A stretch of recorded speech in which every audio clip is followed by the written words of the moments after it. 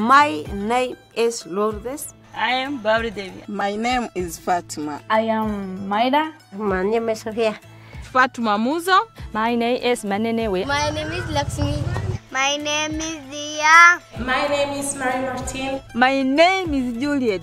I am I a Force of nature.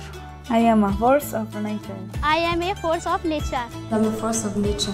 I am a force of nature. And I am a force of nature.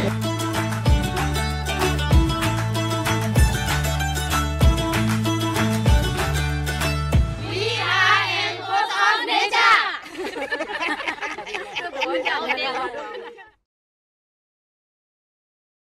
When I was little, I never saw any women, forget Indian women, um, in my textbooks or curriculum or anything. And so I decided that when I was old enough, when I was a ninth grader, that I wanted to make a change. And so I'm here to empower younger girls to do the same thing. And for future generations, this morning we're introducing you to a Virginia teenager bringing new attention to women who are often left out of the history books. The high schooler developed her own curriculum for elementary and middle school students to recognize the accomplishments of women with an emphasis on women of color. I think my the reason that this has all become so popular is because it's really hard for anybody to make a change and I think especially for younger women to make a change, especially younger women of color.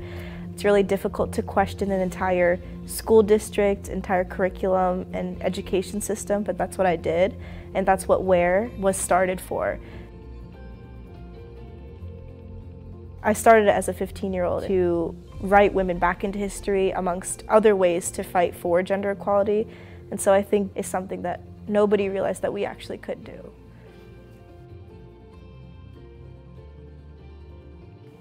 Well, my favorite example is always Sybil Ludington because she was also a 16 year old who did a extremely similar message to Paul Revere, who's known as the messenger of the Revolutionary War. But Sybil Ludington was a 16 year old who rode over 40 miles across states to say that the British are coming. So she did a remarkable thing, but we only learn about Paul Revere in our standards. She's so cool. I love her.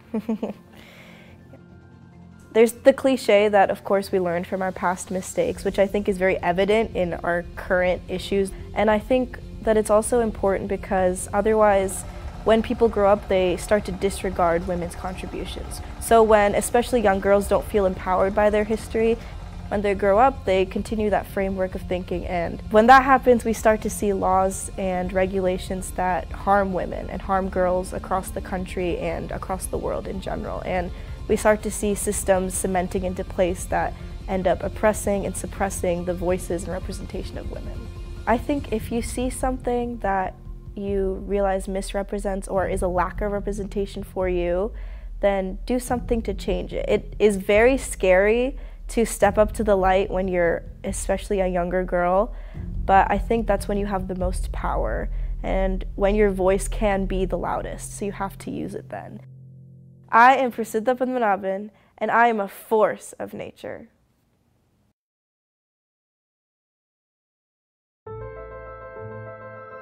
I don't think one image can change the world, but I definitely think that you make little cracks in the foundation. Great photographers can make those pictures that speak to the light in a person's eyes. What I feel intensely now is this desire to focus on the frame, the moment, the person, the relationship, and what that person can teach the rest of us.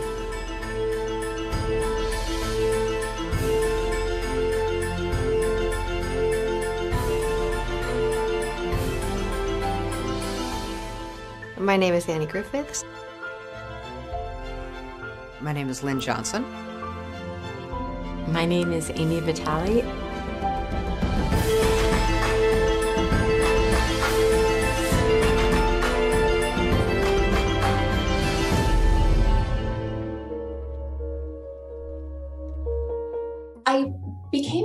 Engineer in the first place because I had two fantastic physics teachers in middle school and high school. Both were women, both went to MIT, and just from the moment I met them, I I knew I wanted to be exactly like them. They were this like base case, this existence proof for what I wanted to be. And it just set off this absolute love for science and engineering and making things that people could use. So I ended up starting my first company, Transatomic Power, that was making safer nuclear reactors that would leave behind less nuclear waste than existing designs. We thought that if we could solve the nuclear waste problem, we'd be able to bring into being this fantastic new power source that could help improve people's lives worldwide. Leslie Dewan is one of the young entrepreneurs leading this atomic revolution.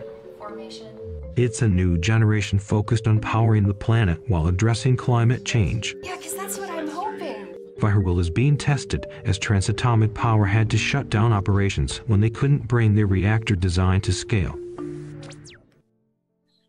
I'd say overall, I think that perseverance and being able to learn from failure is one of the most important parts of being an entrepreneur.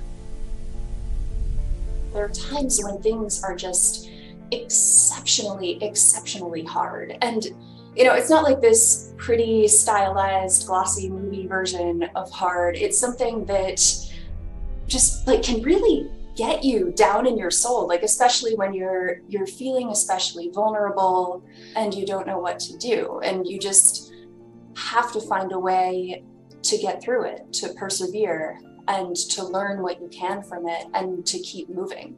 And then when you're trying something that's different from the norm, there's inherently a huge chance of failure. The two of them go hand in hand.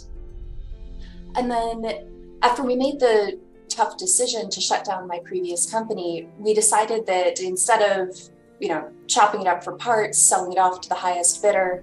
We would instead open source the technology and put our reactor design out in the public domain so that anyone who wanted to could use it and develop it and adapt it. And people started doing that. It actually worked.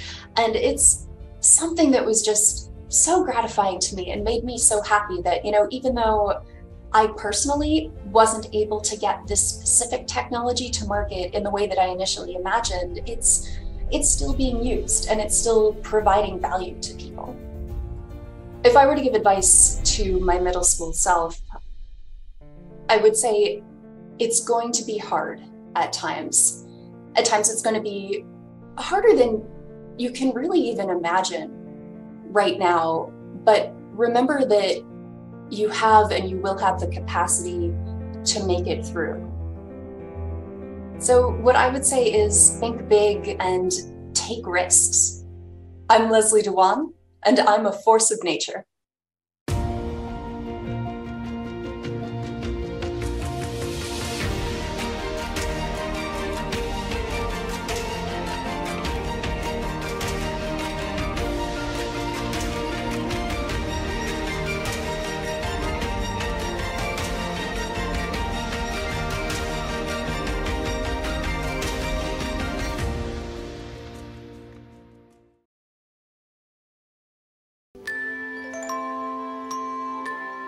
El imaginario que vos tenés de tu vida es, sos mujer, te vas a casar, vas a tener hijos. Explicamos.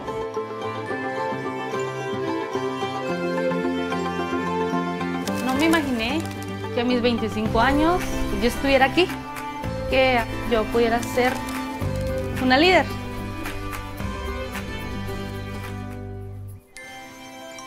Pero eso no es la realidad de toda la gente, de todas las niñas. O sea, papás y niñas que no estudian. Niñas que se quedan cuidando a sus hermanitos. O niñas que ni siquiera hacen nada. O sea, una niña que no tenga sueños o que no tenga ideales, que no quiera hacer nada de grande, eso es terrible.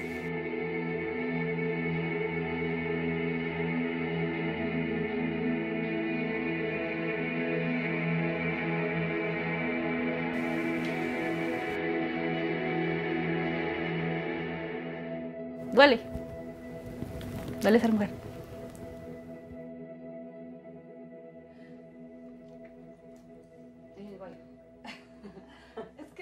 Go Joven Guatemala nace primero por la necesidad de tener espacios para participar y luego nosotros que específicamente trabajamos con derechos sexuales y derechos reproductivos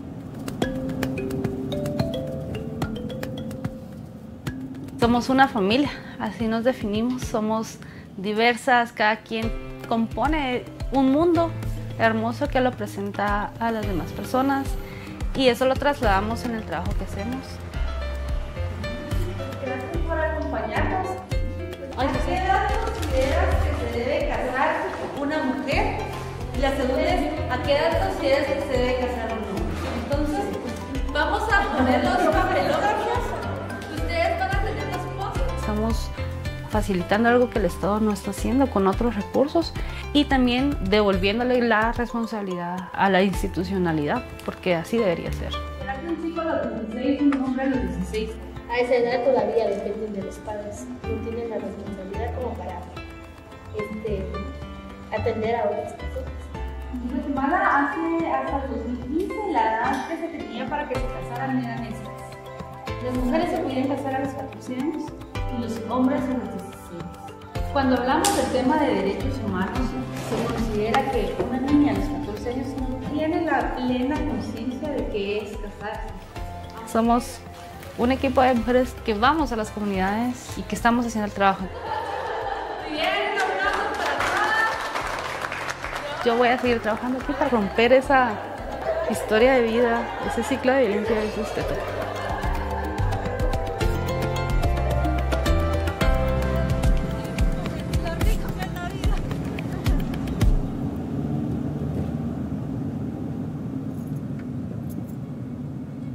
Recibí un mensaje de una amiga y me dice, mira, te llegaría a ir a la Asamblea General de Naciones Unidas en Nueva York en septiembre. Y yo, obvio, sí. Grand Central.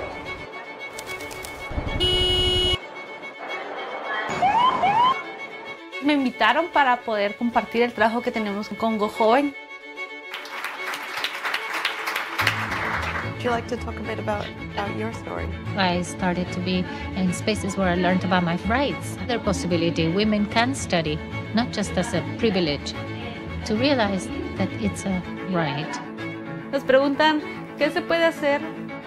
Vamos a tener más niñas empoderadas, más niñas felices, más niñas jugando, saltando, riendo, educadas.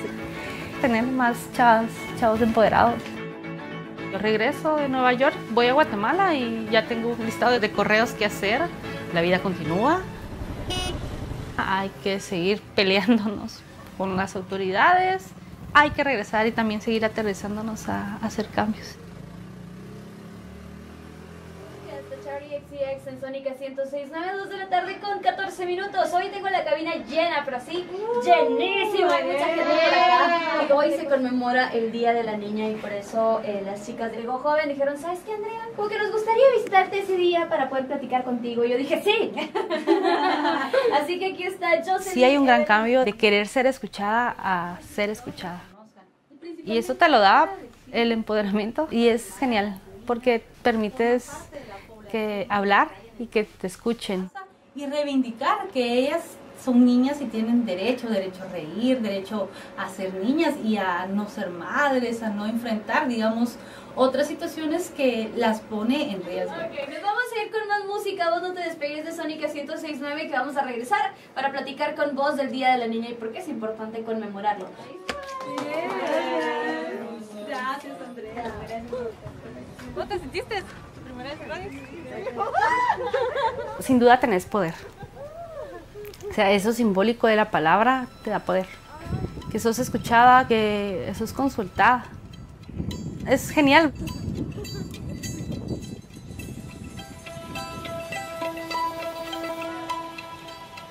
Este 11 de octubre, el Día Internacional y Día Nacional de la Niña, decimos, las niñas de Guatemala no se golpean, no se violan, no se maltratan, no se queman, no se matan.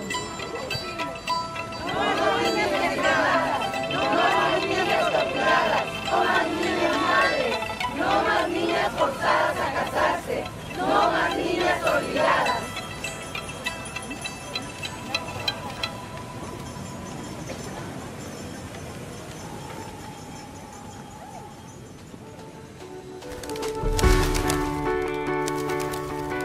Vos sos un referente para las comunidades.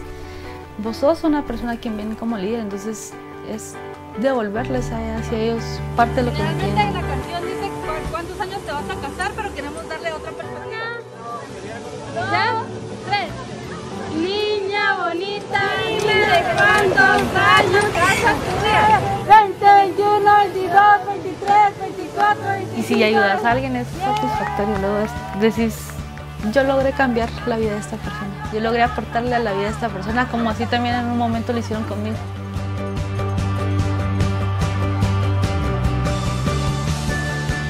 Que hayan más Jocelyn, que hayan más, no sé, Laura, que hayan más, más chavas y más niñas empoderadas. Eso es chile.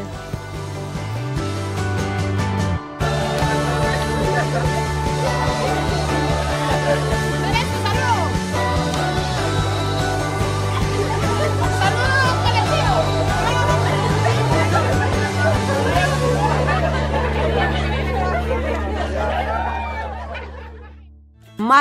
name is Lourdes. I am Babri Devi. My name is Fatima. I am Mayra. My name is Sofia.